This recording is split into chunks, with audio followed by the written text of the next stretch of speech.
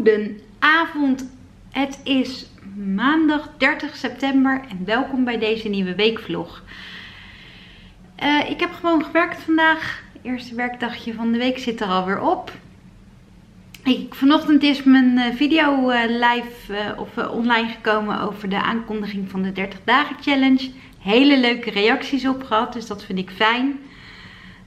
Um, ik heb hem inmiddels ook op mijn social media gedeeld. Ook daar kwamen hele leuke reacties op. Dus dat is, dat is alleen maar leuk. Dat uh, motiveert me eigenlijk alleen maar meer om, uh, om eraan te gaan beginnen.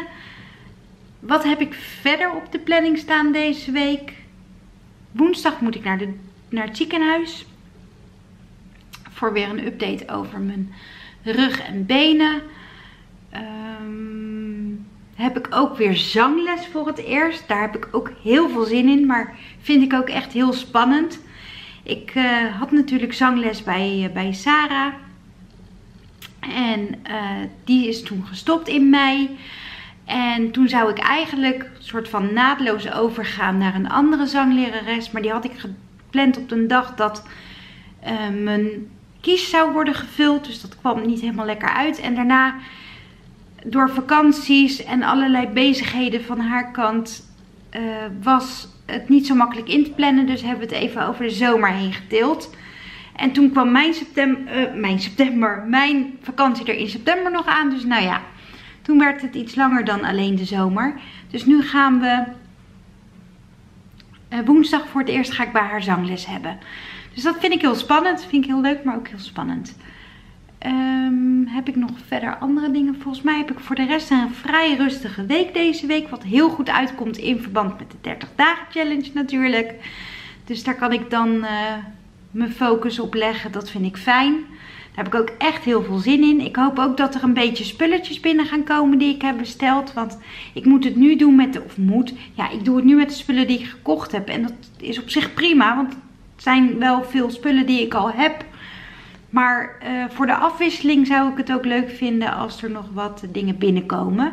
Dus uh, ja, ik hoop dat dat deze week ook een beetje begint binnen te druppelen. Dat zou fijn zijn.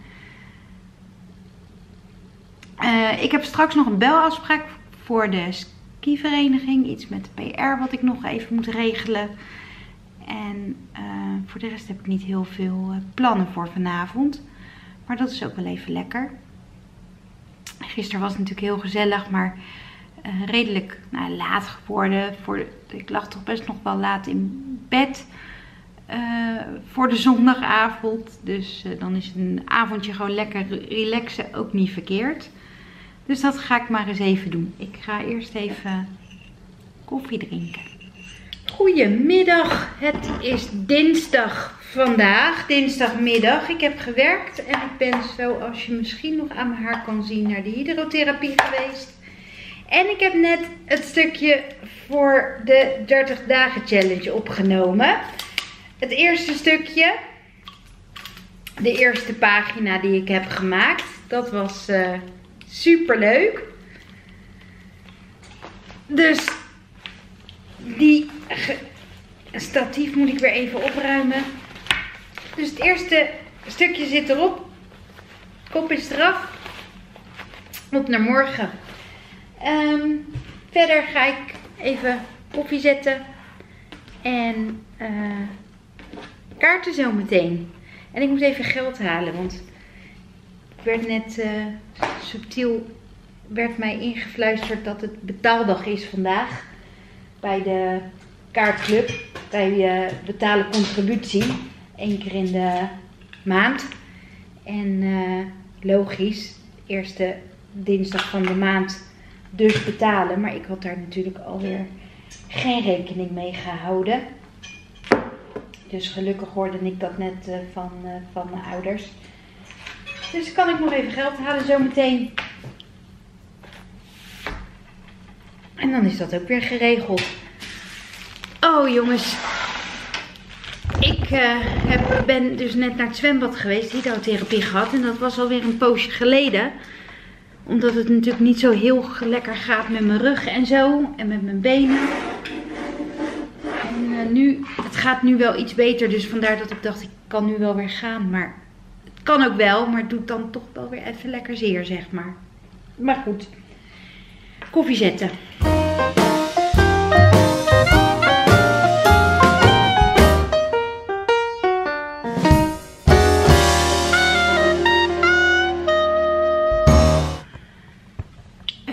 Een hele goede morgen. Uh, gisteren een timelapse gemaakt op de kaartclub. Ik heb hem net even teruggekeken. Ik denk dat hij een beetje onscherp is geworden, maar jullie hebben hem net gezien. Uh, de vlog is vanochtend niet online gekomen en dat komt omdat ik gisteren meteen naar mijn bed ben gegaan toen ik thuis kwam. Ik heb gisteren hydrotherapie gehad, dat had ik jullie al verteld. En die napijn jongens, oh, die was niet grappig. Uh, we hebben het weer een keer geprobeerd en nou, het is dus niet, uh, niet goed gegaan. Daar baal ik echt heel erg van. Uh, maar goed, vanochtend heb ik een afspraak in het ziekenhuis. Om uh, daar met de neuroloog over te spreken. We gaan het zien. daarna ga ik de vlog online zetten en verder met mijn 30 dagen challenge.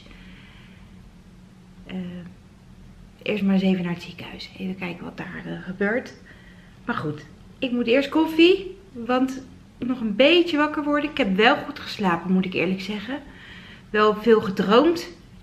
Maar geen pijn gehad. Dus dat is fijn. Als ik lig gaat het dus blijkbaar wel, uh, wel beter. Uh, ik ben nu net weer in mijn rolstoel gaan zitten. Dus uh, even kijken hoe het gaat. En koffie zetten.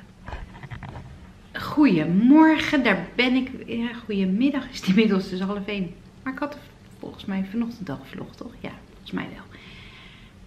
Ik ben weer terug uit het ziekenhuis. Al een poosje hoor. Maar ik heb eerst even met mama hier koffie gedronken toen we terugkwamen. En toen Suus even gebeld. En uh, wij hebben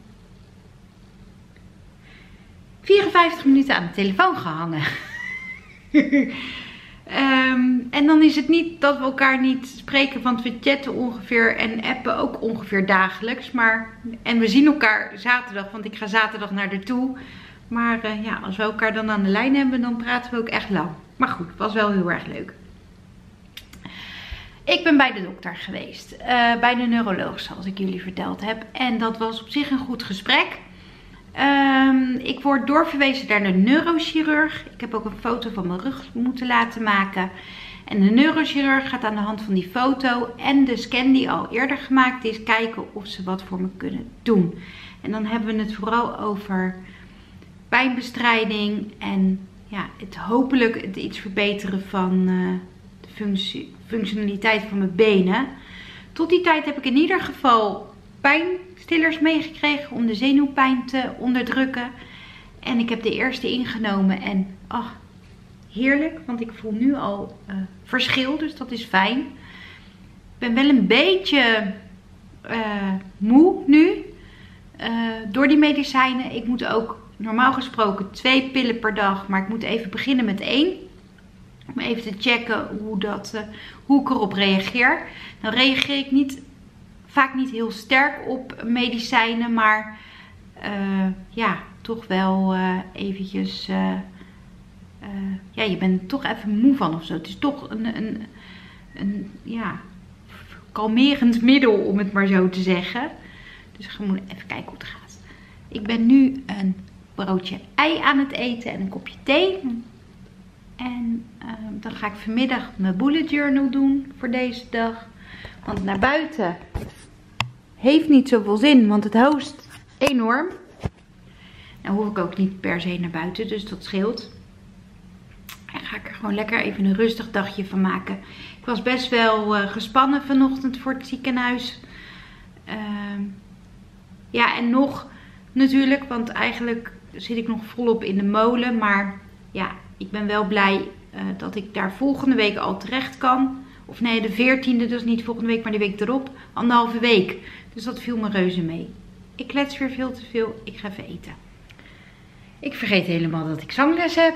Gelukkig kwam ik er op tijd achter. Want ik, het is nu tien over één en ik heb zangles om twee uur. En dat is hier niet zo ver vandaan. Spannend. Voor het eerst bij iemand anders. Uh, dus ja, ik vind dat echt heel spannend. Maar ehm, het pilletje wat ik heb genomen van de dokter helpt me enorm te ontspannen. Uh, dus uh, dat, dat scheelt in dit geval wel. Oh, ik ben er echt een beetje van. Maar goed, ik hoop dat het gewoon wendt en de pijn vermindert. En dat doet het al wel aardig, dus dat is fijn. Ik ga naar zangles en ik ga jullie straks even laten weten hoe dat was. Want het is de eerste keer, dus camera vind ik dan niet, niet fijn. Misschien dat ik ooit nog een, weer een stukje film. Maar voor nu de, doe ik het even zonder. En horen jullie straks hoe het is geweest. Ik ben weer terug van zangles. Het is inmiddels al half vijf jongens. De middag is wel iets anders gelopen dan ik had gepland. maar dat kwam omdat ik en een beetje uh, was van de medicijnen. Dat begint nu wel uh, beter aan te voelen. En mijn zangles was natuurlijk een eerste les. Dus we hebben er vooral een kennismaking van gemaakt. Maar die duurde ongeveer anderhalf uur. En ik ben net thuis. Maar oh wauw, ik ben een beetje uh, uh, leeg nu. maar wat een fijne vrouw, uh, mijn nieuwe zangdocenten. Heel, past heel goed bij mijn manier van denken en mijn manier van doen. Ehm, dus dat vind ik gewoon heel erg fijn. Ik had meteen een goed gevoel bij haar. De klik is er, dus nou, dat is in ieder geval het belangrijkste. En nu gaan we doorpakken. Dus volgende week kan ik weer bij haar terugkomen. nu weer even met mijn vlogvrienden aan het chatten. Ronald en Suus. Maar Suus is ziek. Dus die reageert af en toe tussen, tussen de slaapjes door, om het maar zo te zeggen. En dan ga ik zo eten. En dan moet ik ook nog mijn bullet journal doen. Maar dat ga ik dan vanavond even doen. Na het eten. Als het nog niet te donker is om dat te filmen. En ja, dan is het een onverwachts rustig dagje vandaag. Maar goed, dat is niet zo erg. Bedoel, de dokter was ook allemaal, uh, nou ja, spannend wil ik niet zeggen. Maar ja, dat is toch, moet je toch weer even verwerken. Zangles ook. Dus uh, ik zit nu lekker even dat te doen. Terwijl ik Sarah kijk. Sarah Rebecca. Ze heeft weer een hele interessante fashion uh, adviesvideo online. Dus die ga ik even verder kijken. Ik heb lekker gegeten bij mijn ouders en ik ben weer thuis. En er is een pakketje voor mij binnengekomen. Een pakketje, zeg maar gerust een mega pakket. Ik heb een skimaatje, Marjolein, Marley. En uh, die chick is zo stoer. Die gaat haar droom achterna en emigreren naar Australië. Echt, ik ben zo trots op dat mens. Maar die uh, zette op Facebook iets wat ze weg wilde doen. Allerlei knutselspullen. Dus ik wilde dat graag hebben. Maar toen was net iemand anders me voor. Nou, dat kan natuurlijk gebeuren. Dus toen appte ze me van, joh, ik heb ook nog washi tape en andere leuke dingen. Wil jij dat dan kopen? En ja, heel graag. Dus ik heb echt, nou serieus, moet je kijken. Een enorme berg washi tape van haar gekregen. Waar ik echt mega blij mee ben. En allemaal boeken vol met leuke en mooie papiertjes en dingen. Ik, uh, ja, ik ben een beetje stil daarvan gewoon. Het is zoveel. En zo gaaf. Dus uh, nou, dat maakt de 30 dagen Bullet Journal Challenge nog veel leuker. Ik ga al die boeken eens even op mijn gemakje doornemen. Ik heb er helemaal zin in. Goedemiddag, ik ben weer thuis. Het is donderdagmiddag vandaag. Iets vroeger dan normaal. Het is kwart voor vier. Ik heb lekker een uurtje vrijgenomen. Want die medicijnen hakken er lekker in, jongens. Daarom heb ik gisteren ook niet meer gevlogd. Ik heb gisteren nog wel een stukje opgenomen voor de 30 dagen challenge. Maar voor de rest uh, niks meer gedaan. Want uh, nou ja, het was een beetje een intense dag gisteren. Met uh, en zangles wat nieuw was. En ja, dokter toch wel heftig. In de zin van, ik was best wel, ik vond het best wel spannend. Maar goed. Eh, ik ben met mijn pijnbestrijding begonnen, die medicijnen. En die helpen als een trein. Dus het is ook een beetje gek. Want aan de ene kant voel ik me heel blij en heel fijn. Omdat ik geen pijn heb. En nu merk ik dat ik de afgelopen maanden, ook al wen je er misschien een beetje aan, toch wel altijd pijn had. En nu is dat gewoon heerlijk, want ik heb het niet. Uh, maar die medicijnen, die uh, je heel erg uh, moe. Ehm, er stond in de bijsluiter dat het kon aanvoelen alsof je een fles wijn op had. Of als je dronken was. Ja, dat klopt wel een beetje. Maar ja. Ehm, wel gewoon gewerkt en dat ging goed. Autorijden gaat goed, dus ik maak me er in die zin uh, niet zo'n zorgen om. De apotheek zei ook al van, uh, waarschijnlijk is het een kwestie van wennen. Um, waarom ik jullie even op een statief heb gezet is omdat ik het even wil hebben over het volgende. Uh, als jullie mij al langere tijd volgen, dan weten jullie dat ik meegedaan heb aan een, of meegeholpen heb aan een onderzoek dat gedaan is door een student. En uh, dat ging over uh, de winkelervaring van vrouwen met een beperking, handicap. Uh, ik ben daar toen een keer voor in Eindhoven geweest. Daar heb ik ook een stukje over gevlogd. En toen was ik bij het bedrijf of de organisatie Ongehinderd. En Ongehinderd is een organisatie die zich inzet voor de toegankelijkheid en de bereikbaarheid in Nederland. dan heb ik het dus over van alles en nog wat. Openbare gebouwen, winkels, restaurants, hotels.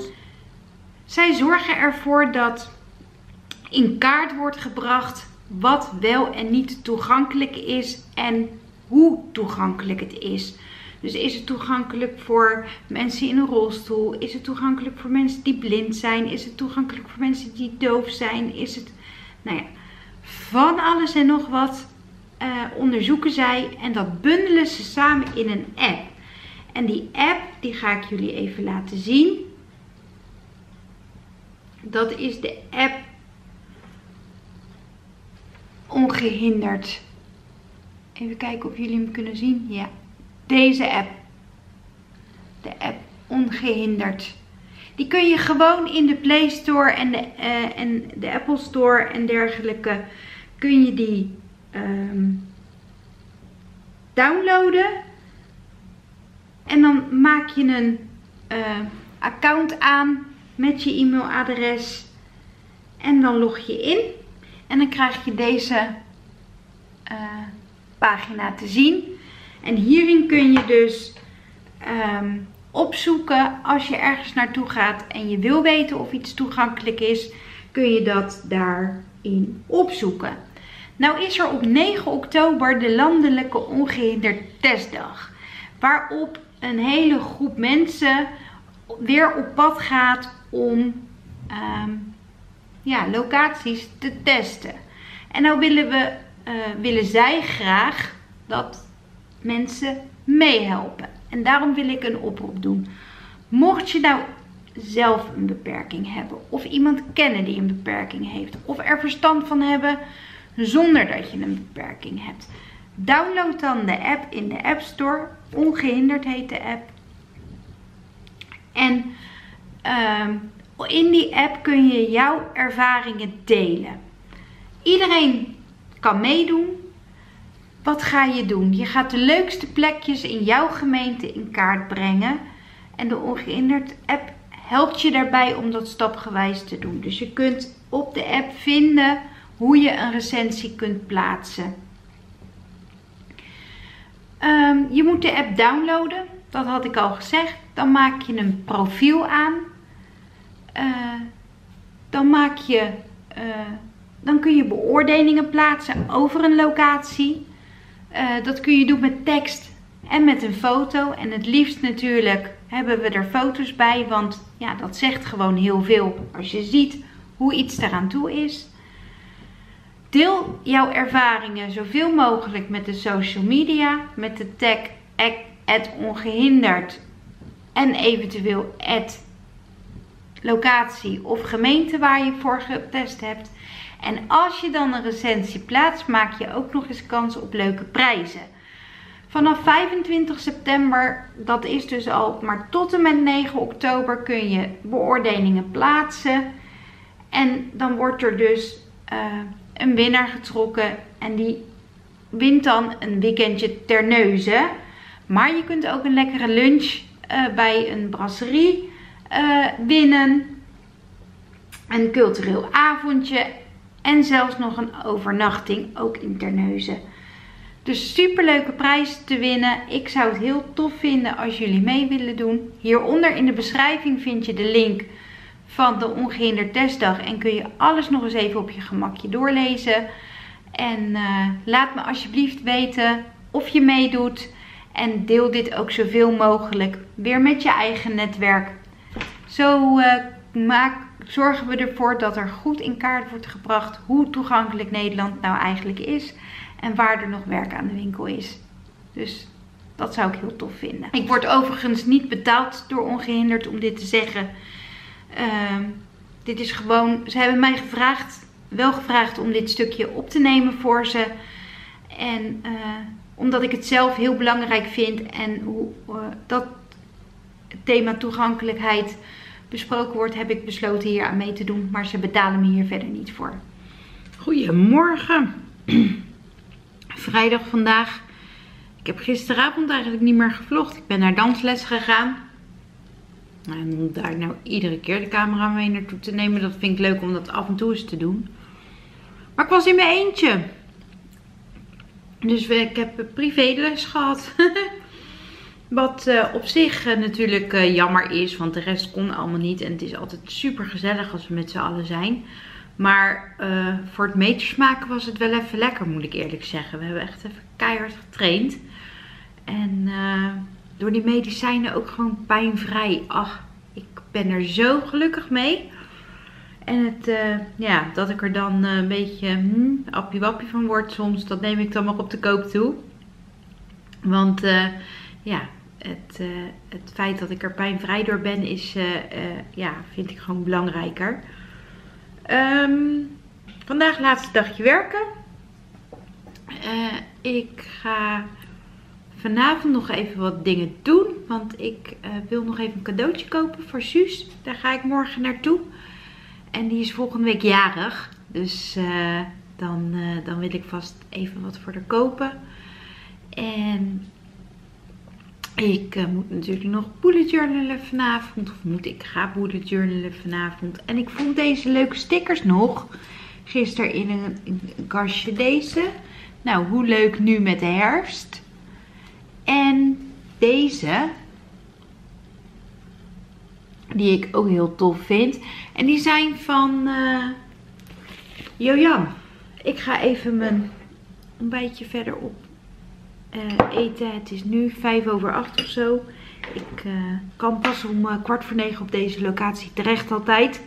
Want eerder is er nog niemand. Dus het is voor mij altijd een beetje rustig aandoen op vrijdagochtend. Dat is ook wel eens lekker. Een hele goede middag. Het is vrijdagmiddag. Ik ben weer thuis van mijn werk. En moet je kijken. Ah, bijna. Het zou toch heel tof zijn als er nu ineens 300 kwam te staan, hè? Oh, wat zou dat gaaf zijn. Kijk, want hier zie je dan dat lopertje gaan. En dan zie je ze, als het goed is, weer verspringen. Ja! Kijk! 300! Oh, hier blijft hij dan op 2,99 staan. Dat is flauw.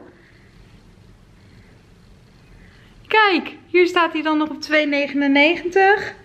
Maar hier het bewijs. 300 abonnees. Yay! Helemaal blij mee. Zo, ik ben weer thuis. Ik heb een uh, lekker uh, verwend pakketje voor Suzanne uh, samengesteld.